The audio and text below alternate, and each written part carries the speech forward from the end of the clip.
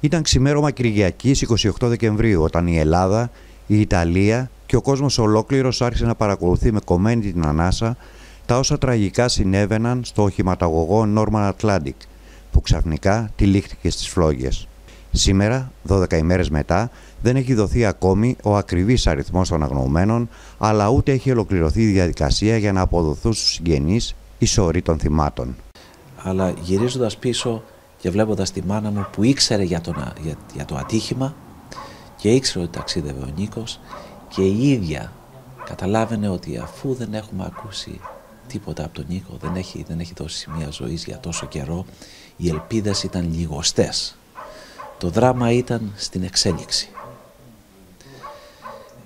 Η αναγνώριση ήταν η επιβεβαίωση.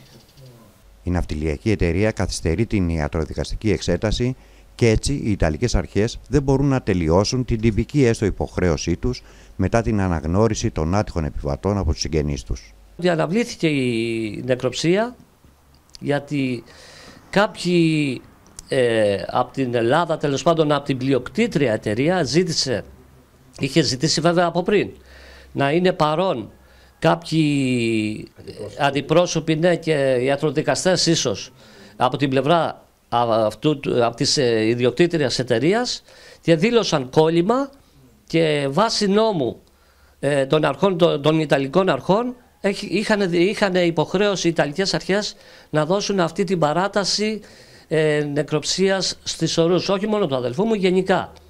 Ε, όταν μου το είπε καταλαβαίνετε τι έγινε, εξαγριώθηκα. Εντάξει, γιατί δεν, δεν μπορούσαμε δηλαδή την αναμονή αυτή να αντιδεχτούμε με τίποτα.